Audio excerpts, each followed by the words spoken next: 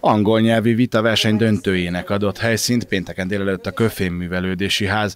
A Vármegyei Tudáspróbát a Vasvári Pál Gimnázium és a Hamed Köfém Kft. közösen szervezi évek óta.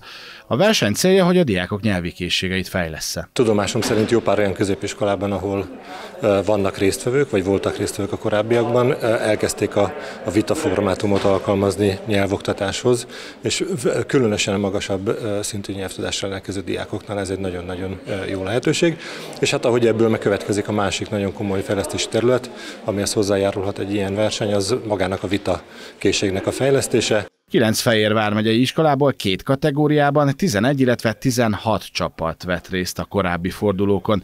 Közülük a mostani fináléba a zsűri választotta ki a legtehetségesebb két-két csapatot, akiknek az első fordulóban egy korábbi leadott téma kapcsán kellett bizonyítaniuk, a második részben pedig egy ott kihúzott téma kapcsán rögtönözniük.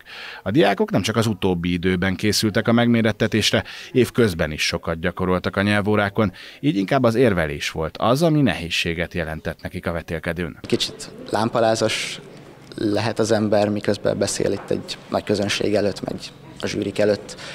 Nekem főleg ez okoz problémát, nem inkább. Az angol nyelvvel annyira nincsen gondom. A verseny érdekessége volt, hogy idén a döntőbe csak vasvális csapatok jutottak be, akik közül végül mindenki nyertes volt, hiszen a döntőbe jutott diákok értékes sportszerutalványt nyertek.